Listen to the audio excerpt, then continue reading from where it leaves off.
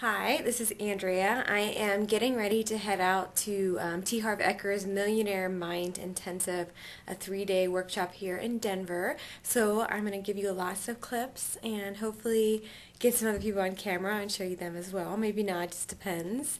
Um, but I'll check back in with you later. So here I am in the Millionaire Mind Intensive. It's 8 o'clock on the first night, so I'm pretty tired, um, but I'm just reporting in to you really quick.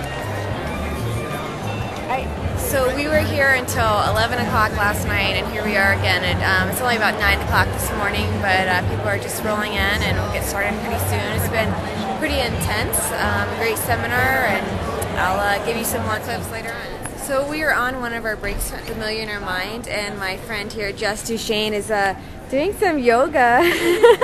uh, she has awakened within.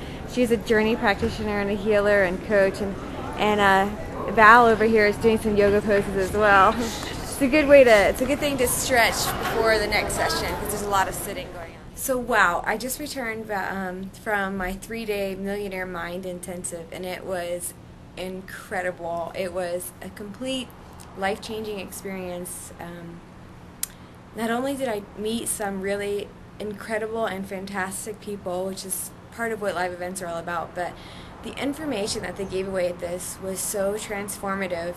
And in three days, we did so much work on ourselves, um, all about money and everything and our beliefs. It just totally rocked. So if you get a chance to go, I highly recommend it.